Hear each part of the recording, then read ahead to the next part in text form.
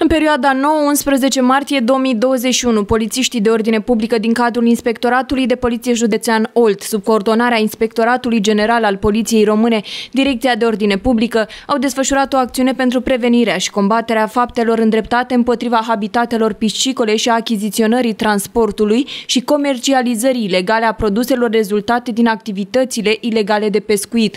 În această perioadă au fost constatate 8 infracțiuni, dintre care 3 pentru nerespectarea prevederilor ordonanței de urgență numărul 23 per 2008 privind pescuitul și acvacultura.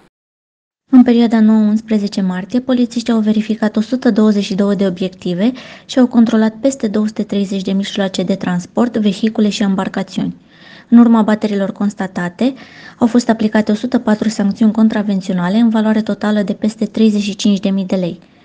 De asemenea, în cadrul acțiunii au fost constatate 8 infracțiuni, dintre care 3 pentru nerespectarea prevederilor ordonanței de urgență privind pescuitul și acvacultura.